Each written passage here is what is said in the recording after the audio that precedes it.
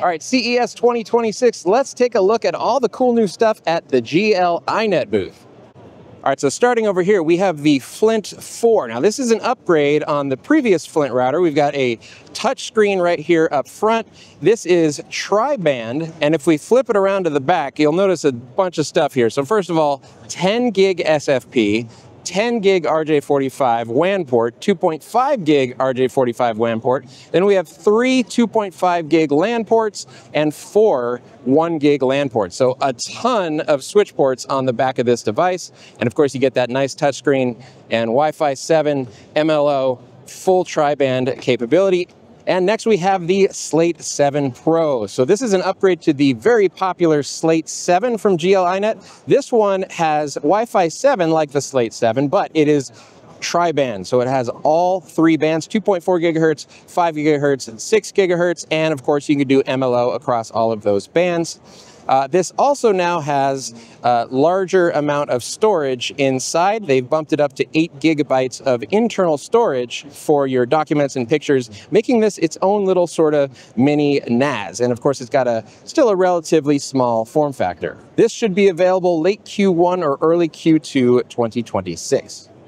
And here we have an upgrade to the very popular Beryl AX. This is a very small form factor router, uh, the Beryl 7. Okay, so the Beryl 7 means that it has Wi-Fi 7.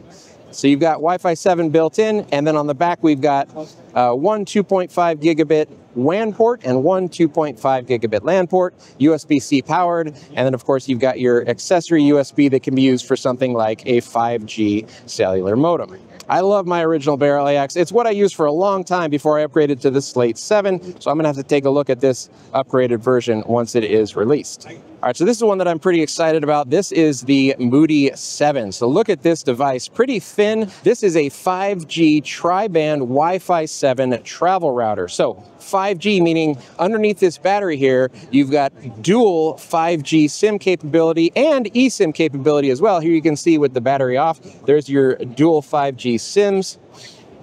Uh, and then it's got everything else that you would expect from a GL iNet router. It can be repeater mode. It has a 2.5 gigabit Ethernet port on the side for connecting to WAN that way. It can also, of course, have 5G, and then you've got tri-band Wi-Fi for your client devices. So this is a really nice little form factor, gorgeous touchscreen display. That just fit right in your back pocket.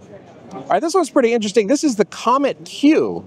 So this says the world's first hardware device for remote mobile device control. So it's got USB-C. Basically, this is a KVM for USB-C devices like Android phones and iPads and newer generation iPhones and stuff like that. So if you ever need a, if you ever need to control your iPad or your iPhone remotely, you can use the Comet Q. And then here we have a new one. This is the Comet 5G. This is a 5G capable KVM device. So imagine for a remote location where you don't have any sort of internet connectivity, but you can get 5G, you can still remote control a device through 5G with this Comet 5G. It's Wi-Fi 6, remote KVM, 64 gigs of EM, uh, eMMC storage on board as well. And here we can see the ports on the back. We've got power, uh, USB-C for keyboard mouse, HDI, HDMI in and out. So this functions as a pass-through device like the Comet Pro. And then we also have uh, wired Ethernet as well.